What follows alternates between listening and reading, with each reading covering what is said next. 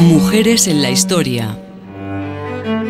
Yo era para ellos aquella triste emigrada española que se debatía entre la vida pasada y la presente, en un constante fraguarse de recuerdos y de esperanzas inciertas en el porvenir. Escritora almeriense, María Enciso es una de las representantes femeninas del grupo literario del 27, cuya obra encarna a toda una generación de españoles exiliados. Nacida en 1908, su infancia y adolescencia transcurren entre Almería y Barcelona, donde fija su residencia en 1923, lo que le permite frecuentar los ambientes intelectuales y universitarios de la época. Su matrimonio con Francisco del Olmo es breve, pero de esa unión nace su hija Rosa, quien la acompañará durante su exilio y a quien dedica gran parte de sus poemas.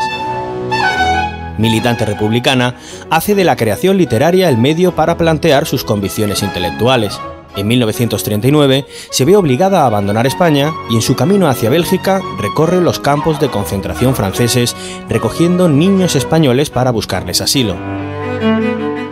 Siento un frío de congoja en el corazón, que estás solo, angustiado, con los seres queridos esparcidos por el mundo, aventados por los aires, como cenizas de una inmensa hoguera que la guerra encendió.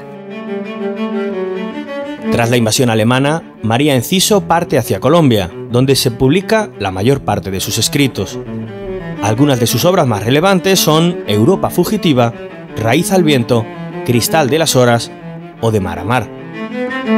A pesar de haber escrito toda su obra en el destierro, sus contenidos tienen como referente constante su tierra y están impregnados por una gran nostalgia de su Almería natal.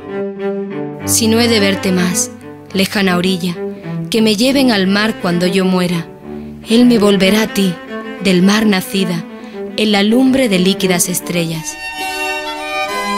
María Enciso muere en 1949 en México, país en el que fija su residencia cuatro años antes y donde colabora con diversas revistas y semanarios.